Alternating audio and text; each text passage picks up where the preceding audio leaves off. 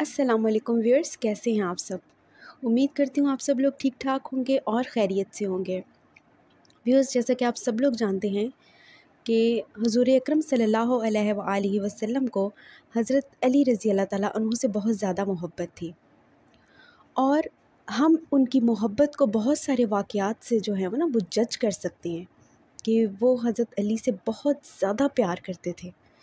चूँकि वो नौ साल के थे तो उन्होंने इस्लाम कबूल किया और उनकी तालीम तरबियत की ज़िम्मेदारी भी नबी अकरम वसल्लम ने ख़ुद ली। तो इस वजह से भी मोहब्बत का डिवेलप हो जाना एक फ़ितरी अमर है। फिर जैसा होता है ना कि बहुत सारे लोग होते हैं जो आप लोगों की मोहब्बत से जलिस होते हैं।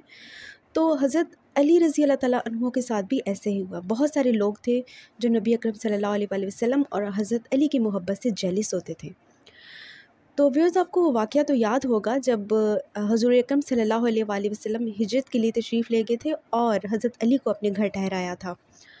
और चूँकि कोई वजह थी, अमानतों की वजह थी तो इस वजह से, लेकिन मुनाफिकीन ने इसका फ़ायदा उठाया। व्यूअर्स नबी अकरम सल्लल्लाहु अलैहि वसल्लम ने अपने अहलो अयाल की ज़िम्मेदारी हज़रत अली पर छोड़ी और ख़ुद हिजरत के लिए तशरीफ़ ले गए। और मुनाफिकीन को मौका मिल गया। मुश्रिकों को मौका मिल गया बातें करने का। उन्होंने ये कहना शुरू कर दिया कि अली, वो आपको बोझ समझते हैं, इसीलिए आपको अपने साथ नहीं लेकर गए और वो आपको कमतर समझते हैं। मींस कि आप अपने आप को इम्पोर्टेंस देते हैं कि नबी मुझसे प्यार करती हैं, लेकिन ऐसा नहीं है। वो आपसे प्यार नहीं करते। अगर वो आपसे प्यार करते तो आपको साथ लेकर जाते।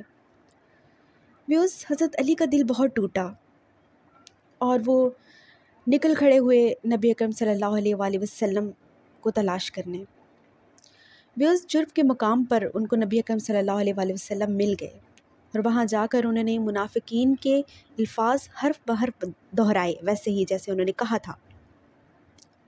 व्यर्स हज़रत अली रज़ी अल्लाह अनहों की आँखों में आँसू देखकर नबी अकरम सल्लल्लाहु अलैहि वसल्लम तड़प उठे और कहने लगे, मैं तो सिर्फ़ तुम्हें अमानतों की गर्ज से वहाँ छोड़ कर आया था।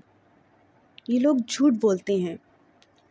क्या तुम ये पसंद नहीं करते कि मेरे लिए ऐसे बनो, जैसे मूसा के लिए हारून बने थे? लेकिन मेरे बाद कोई नबी नहीं आएगा।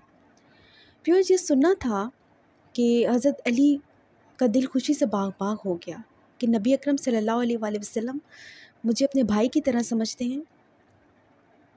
व्यूअर्स ये सुनकर उनकी तमाम रंजिश और तमाम जो उनके दिल में मलाल था, वो जाता रहा। व्यूअर्स एक और वाक़ है जिसमें नबी अकरम सल्लल्लाहु अलैहि वसल्लम की मोहब्बत छलकती है।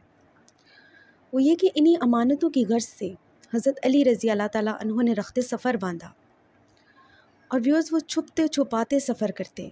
दिन के वक्त वो कहीं छुप जाते और रात को वो सफ़र करते। बहुत ही कठिन और दुशवार गुजार रास्ता था।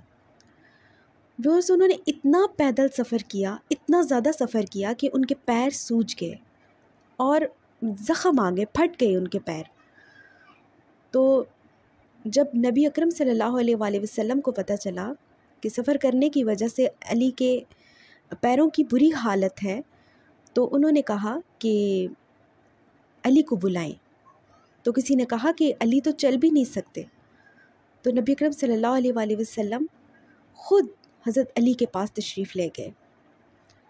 व्यस हज़रत अली ने जब रसूल अकरम सल्लल्लाहु अलैहि वसल्लम को देखा कि वो ख़ुद तशरीफ़ लाए हैं तो फ़रत जज्बात से उनके आँसू निकल आए। फिर नबी अकरम सल्लल्लाहु अलैहि वसल्लम ने अपना लुआब दहन उनके पैरों पर लगाया और फिर हज़रत अली रज़ी अल्लाह ताला कहते हैं कि मेरे पैरों में उसके बाद ज़िंदगी गुज़र गई, लेकिन कभी दर्द भी महसूस नहीं हुआ। व्यूअर्स इसी तरह हज़रत अली रज़ी अल्लाह ताला एक वसीदा सी चटाई पर लेटे थे।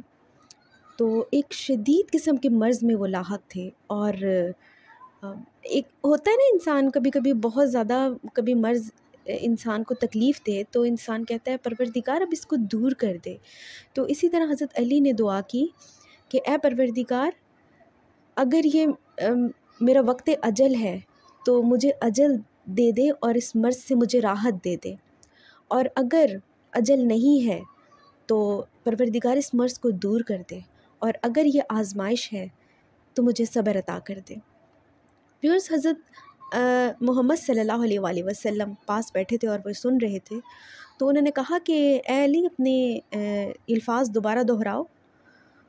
तो हज़रत अली ने दोबारा अपने अल्फाज दोहराए और फिर नबी करीम सल्लल्लाहु अलैहि वसल्लम दुआ के लिए हाथ उठाए और अल्लाह ताला से दुआ की कि, ए परवरदिगार अली को शिफा दे दे।